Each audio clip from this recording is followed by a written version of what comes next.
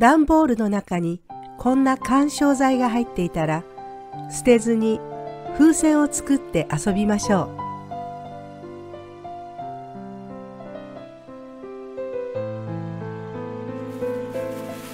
緩衝材をミシン目のところで切り離します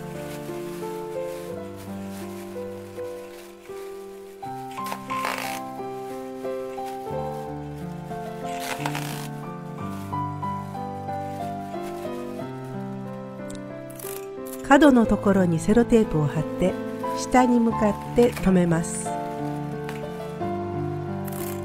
反対側も同じように留めます。ひっくり返して同じように留めていくとだんだんパンパンになってきます。最後は思いっきりぎゅーっと下に引っ張って貼ってください。これで風船の出来上がりです。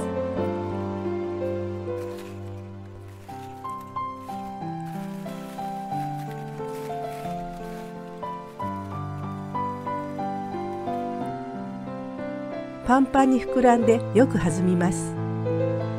たくさん作って遊びましょう。